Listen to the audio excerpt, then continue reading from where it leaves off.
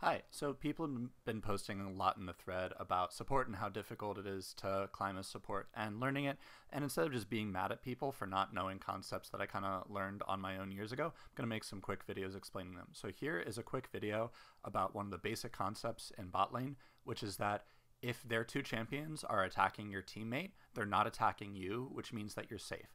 And what this applies to is you capitalizing not just off of your opponent's mistakes, but on your teammates' mistakes. So when they get caught by something, your opponents become really predictable because they're always going to move up to attack them in really predictable ways, and it can make you turn fights. So here is an example. So I previously got owned by fucking up because I'm not actually very good at this game, pretty rusty. Um, but what happens here is this guy this Jhin that I'm playing with uh, gets rooted by a Lux Snare, whatever, it happens. That's why I'm at no HP with no flash. And so what's going to happen is that their guys move up to try to kill him, which gives me a free bubble on... I was trying to hit both of them, but it just hits the Ez.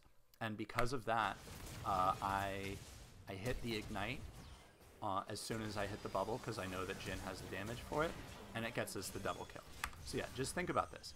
If your ally is the one getting attacked, and they're just trying to kill him because he's CC'd, they're not attacking you. So you can do whatever the fuck you want. Don't just run away when your guy gets hit unless it's totally hopeless. Like, you can turn those fights, especially because you know what your opponent is going to do. Makes your skill shot super easily. Capitalize on your teammates' mistakes by killing your opponents.